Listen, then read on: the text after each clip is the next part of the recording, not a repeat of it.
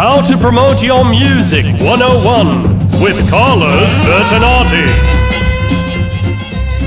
Step 1. Have a meeting with fancy record executives and explain your vision. We find Carlos sitting, explaining his ideas.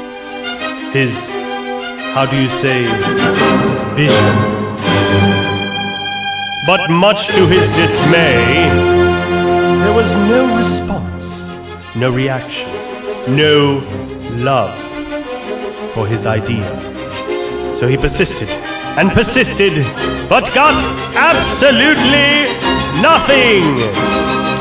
No money, no goodies for you, Carlos. How's about this?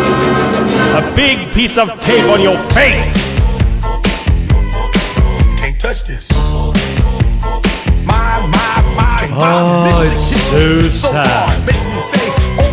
When all he wanted to do What am I to rhyme? was perform for his fans. know you're down. A super dope homeboy from the Oak Town, and I'm known. as So, such, and this is in an act of defiance, this. I told he took matters you Can't touch this. into his own hands. So he played for thousands. He hit the streets, even different demographics. Carlos Bertonatti works hard for the money.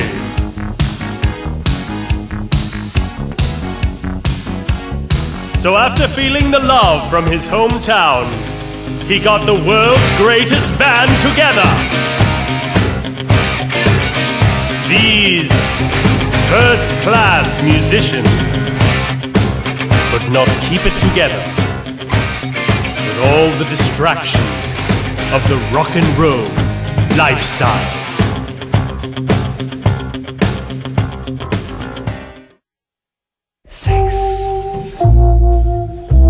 Carlos Bertonatti, even in his sleep, would think of expensive marketing ideas that even Puff Daddy would envy, like support music.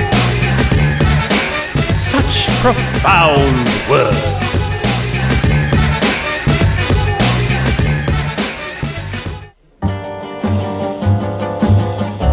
And even during his rubber dub time, Carlos Bertonatti would concoct outrageous ways to guide his fans to their favorite digital online distribution centers.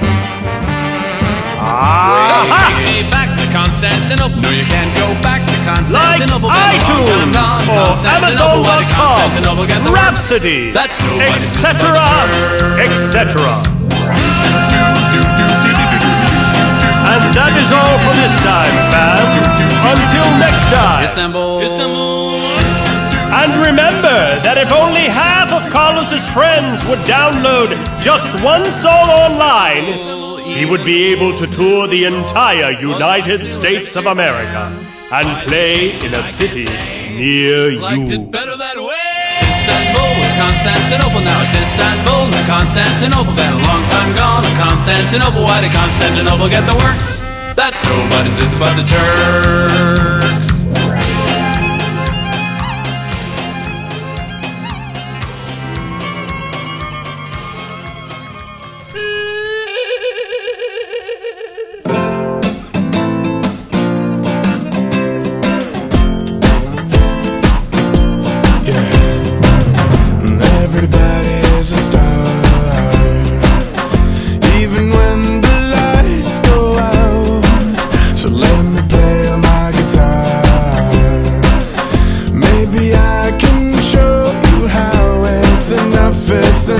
It's enough to drive yourself crazy. And it's rough, yeah, it's rough, it's so rough